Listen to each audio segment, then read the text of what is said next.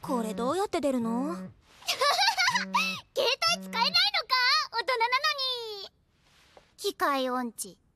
面倒が増えるだけでしょ？一度ゆっくり話したいと言ってる。あなたとはもう別れました。二度と連絡しないでと告げて。大人だった。かっこいい。冷徹。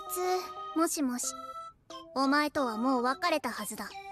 次連絡してきたら目ん玉にリコーダー突き刺してチューリップが咲いたを奏でるぞ。この豚野郎。赤いチューリップ。ありがとう。